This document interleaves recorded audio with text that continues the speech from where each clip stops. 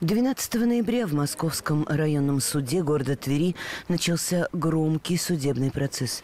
На скамье подсудимых пятеро. Юрий Жуковин, Александр Кириллов, Владимир Пашетко, Андрей Рассказов, Дмитрий Рожков.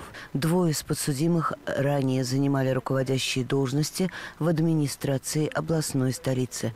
Остальные работали в МУПах. Сегодня начинается судебное заседание по рассмотрению уголовного дела по обвинению ряда граждан граждан, пять человек, которые обвиняются в совершении преступления, предусмотрено частью 4 статьи 160 Уголовного кодекса Российской Федерации, это растрата то есть это хищение имущества э, путем растраты э, денежных средств, которые после э, причинением ущерба МУП ПТП-1. Уголовное дело возбуждено по части 4 статьи 160 Уголовного кодекса Российской Федерации «Совершение хищения чужого имущества путем присвоения или растраты в составе организованной группы либо в особо крупном размере». Расследовали это дело сотрудники регионального следственного Следственного комитета по материалам, предоставленным у ФСБ России по Тверской области.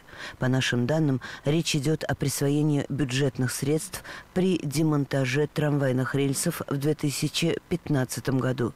Вменяемая подсудимым статья Уголовного кодекса предусматривает лишение свободы до 10 лет со штрафом в 1 миллион рублей. Еще раз напомним, 12 ноября судебный процесс только начался. У подсудимых, как нам стало известно, нет меры пресечения. Мы следим за ходом событий.